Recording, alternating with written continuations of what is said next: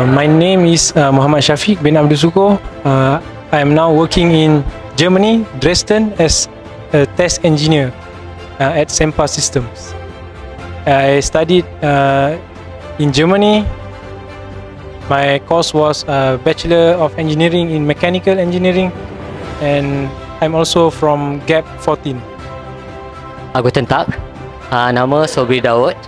Uh, dulu uh, sekarang bekerja sebagai service engineer di uh, firma Hotish Ropos. Uh, sekarang uh, involved dengan uh, Persatuan Azim Jerman dalam membantulah masyarakat Malaysia di Jerman uh, especially tentang uh, regardless any issues and even students, families and also postgraduates.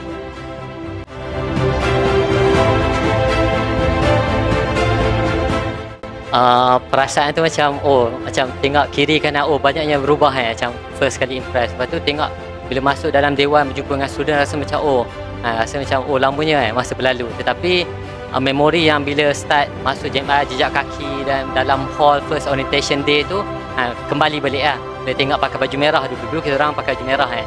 Uh, sekarang tak tahu macam mana. So dia macam ingat balik macam mana struggle lah untuk betul-betul ha, betul-betul uh, untuk perform dalam study dan untuk semata-mata nak belajar kat Jerman saja. Okay, uh, masih teringat lagi apa?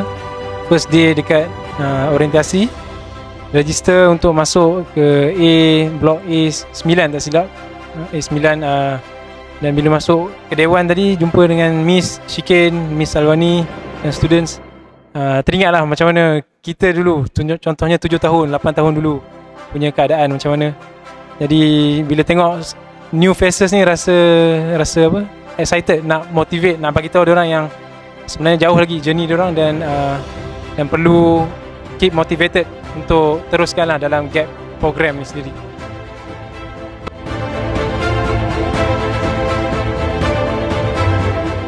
Semasa di JMI, saya pernah menjadi kelas rep. Telah dipilih sebagai kelas rep dan tugas-tugas yang diberikan contohnya untuk uh, collect uh, attendance ataupun uh, homework ataupun assignment dan juga untuk control kawan-kawan yang lain semasa apa kelas. So yang tu yang membantu juga lah sebanyak social skills untuk interact dengan uh, TTO dengan students. Walaupun tak banyak tapi in a way dia membantu juga. Bila kita dekat Jerman kita berseorangan kita berhadapan dengan uh, foreigner lain especially German the locals kat sana. So sebenarnya uh, being in a group dekat JMI sangat-sangat membantulah. Kalau yang nak ke Germany? Okay, untuk saya pula saya berbangga lah dapat masuk JMI first kali before masuk JMI rasa macam tak tahu kan apa JMI tapi bila dah masuk tu rasa macam JMI is a bridge lah between Malaysia and also Germany kan so dengan adanya JMI dapat expose kepada bukan sahaja bahasa Jerman tapi culture dan juga the work ethics and also the the the education educational background. Ha, bukan saja boleh kita compare ha, compare sama ada di Malaysia dan juga di Jerman ha, sedikit sebanyak memberi benefit jugalah cara kita nak imbang kembali kan macam mana uh, education background di Malaysia yang kita boleh adapt dan boleh bawa ha, ke Germany.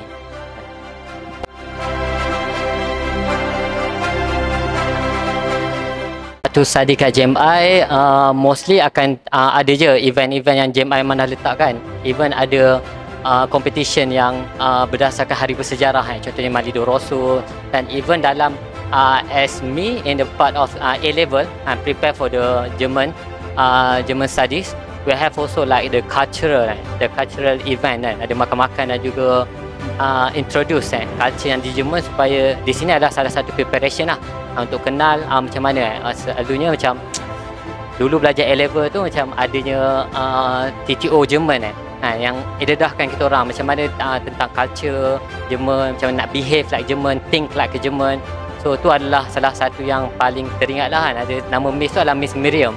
Ha, dia very strict dan dia memang kita even kalau nak masuk tandas pun dia ajar macam mana nak behave dalam tandas kan? Itu antara yang paling memorable lah.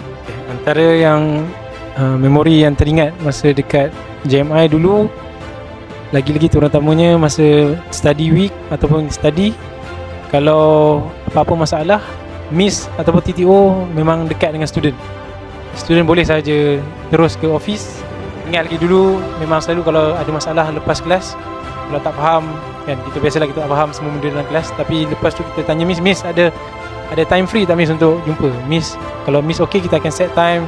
Dan miss pun willingly spend time untuk uh, bantu student untuk bantulah uh, hadapi A level. Dan dari sudut preparation untuk Jerman pula memang sangat-sangat bantu kelas dalam uh, dalam uh, dalam plan harian tu sebab apa? Sebab TTO yang datang tu memang dedicated sebenarnya dia nak bantu students tapi dulu kita mungkin uh, belajar tak bersungguh-sungguh tapi bila kita ingat balik sebenarnya walaupun kecil-kecil perkara TTO buat dalam kelas tu pun walaupun sekadar uh, salin apa yang TTO cakap tu sangat-sangat membantulah dulu untuk uh, build the foundation sebelum ke Germany.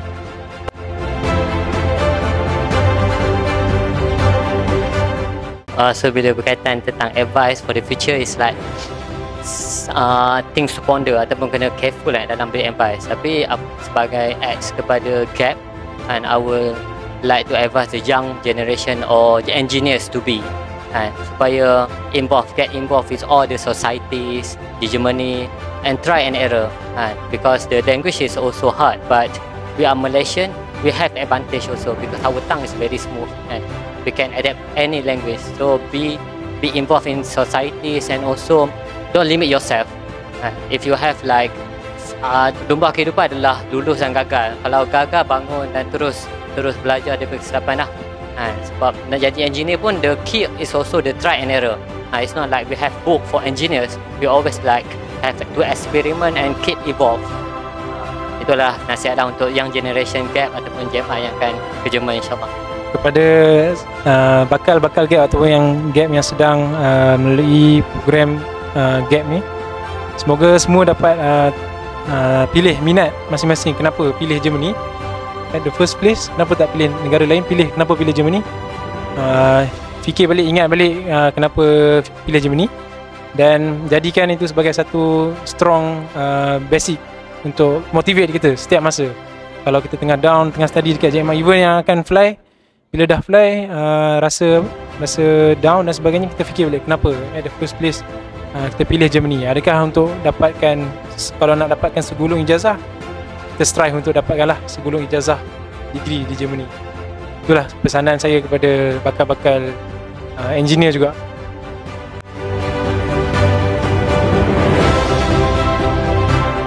Uh, first, I would like to thank the GMI, but uh, especially for all the TTOs and also I'm not sure so the administration that give us the opportunity because we are engineers. I am also an engineer. We want to bring something not only to the industry but also to motivate the young people, to young people to dream and also to achieve the dreams. We are here as a bridge to to to continue or even to living the the legacy legacy of German because we are look out to the German might as well we we might to take something and implement in Malaysia because we Malaysian need you. We Malaysia need the new engineer that are proactive and also active and active in try to evolve the Malaysia in better future. Uh, last but not least, nak ucapkan terima kasih kepada uh, JMI terutamanya uh, golongan TTO uh, yang telah betul-betul lumus lah uh, susah payah ajar kami dulu ajar kami erti susah masa belajar sampailah sekarang ni Alhamdulillah dah uh, habis belajar dah bekerja. Kita ingat apa yang penatlah yang uh, cikgu-cikgu TTO yang berikan yang nak didik sebenarnya uh, generasi-generasi ini. Tanpa pendidik siapalah uh, semua generasi baru ni kan. Jadi nak ucapkan terima kasih kepada TTO TTO dan juga terutamanya kepada JMI memberi peluang untuk datang kembali kepada JMI dan contribute mungkin pada masa hadapan juga insyaallah Hashtag JMI Generation